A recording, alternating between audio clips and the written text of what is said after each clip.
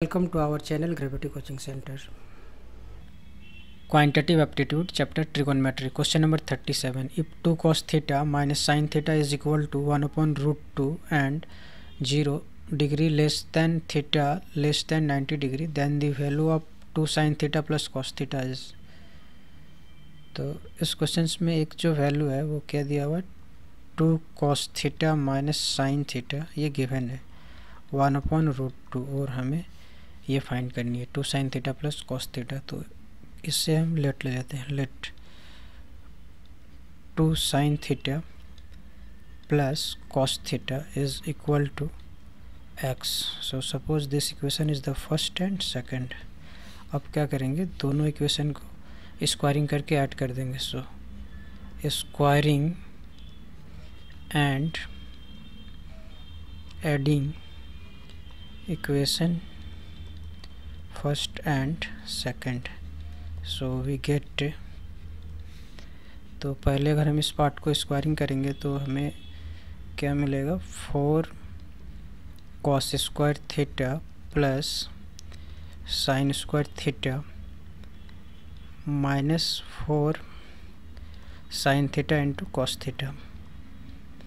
उसी तरह से इसको भी हम स्क्वायरिंग करते हैं। तो ये हो जाएगा four sine square theta plus cos square theta minus four sine theta into cos theta so is equal to one by root two का स्क्वायर होगा one by two plus x square so implies that ये जो four है,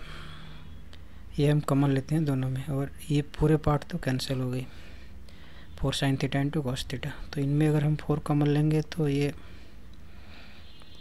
cos square theta plus sine square theta और ये वाले और ये वाले पार्ट को एक साथ कंबाइन कर देते हैं। तो ये sine square theta plus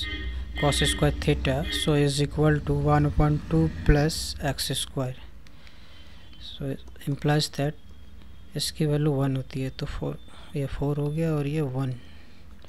so one upon two plus x square so implies that five equal to 1 upon 2 plus x so implies that x equal to 5 minus 1 upon sorry x square so is equal to after LCM तो ये हो गया ten nine by two so X equal to root under nine by two so is equal to three upon root two so which is the required answer so the option a is the correct answer